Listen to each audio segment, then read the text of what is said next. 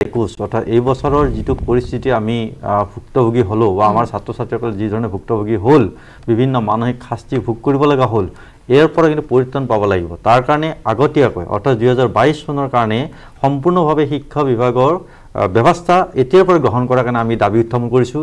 মুখ্যমন্ত্ৰীয়ে বিভাগীয় বিষয়াসকলক কৈছে বিশেষকৈ সেৱাক কৈছে যে এতিয়াৰ পৰাই সাজু হোৱাৰ কথাটো কৈছে। আমি ইয়াত আজি দাবী উত্থাপন কৰিছোঁ যদিও আমি বিশেষকৈ কি ধৰণৰ কাৰ্যকৰী ব্যৱস্থা লয় তাৰ পৰাও আমি সতৰ্ক দৃষ্টি ৰাখিম। আৰু আজিৰ তাৰিখত এটা কথা আমি ছাত্ৰ ছাত্ৰীসকলক ক'ব খোজোঁ।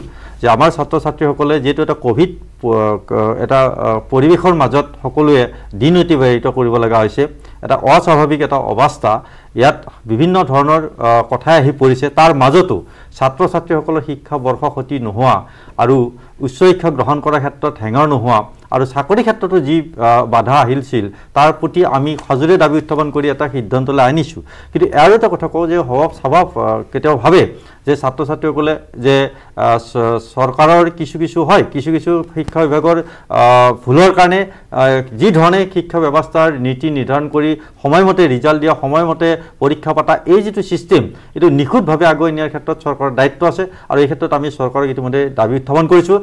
মুখ্যমন্ত্ৰী কৈছে যে নাইন আৰু দশম দশম আৰু নৱম শ্ৰেণীৰ কাৰণে তেখেতে চিন্তা কৰাৰ কথা কৈছে যে দৰকাৰ হ'লে অনলাইন ক্লাছৰ কাৰণে যি ব্যৱস্থা লাগে মোবাইল বা লেপটপ তেনেকুৱা ধৰণৰ চিন্তাও তেখেতসকলে কৰিম বুলি এটা সভাত উপস্থাপন কৰিছে।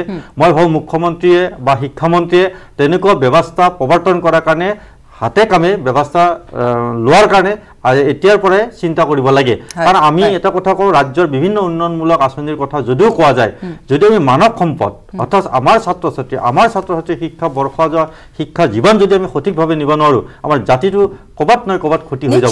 গতিকে সেইকাৰণে আমি আজি অসমৰ মুখ্যমন্ত্ৰীয়ে এই পৰীক্ষা ক্ষেত্ৰত যি আজি দুমাহ ধৰি এটা বেমেজালি সৃষ্টি হৈছিল তাৰ যি এটা সমাধানৰ ৰাস্তা দিলে তাৰ কাৰণে নিশ্চয় মুখ্যমন্ত্ৰী ডাঙৰীকো আমি এই সভাৰ ক্ষেত্ৰত আমি ধন্যবাদেই দিছোঁ। কিন্তু একেটাইতে এই কথা ক'ব খোজোঁ যাতে দুহেজাৰ বাইছত কোনো ছাত্ৰ ছাত্ৰী এনেকুৱা বিপদৰ সন্মুখীন হ'ব নালাগে এনেকুৱা চিন্তা যাতে দুশ্চিন্তাৰ মাজেৰে দিন অতিবাহিত কৰিব লগা নহয়।